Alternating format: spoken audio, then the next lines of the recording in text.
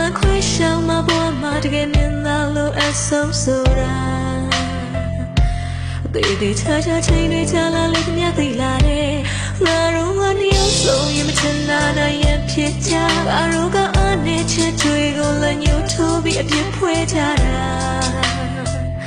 အတဟာစင်နာရီကြောင့်ဖြစ်မှဝေးမသိ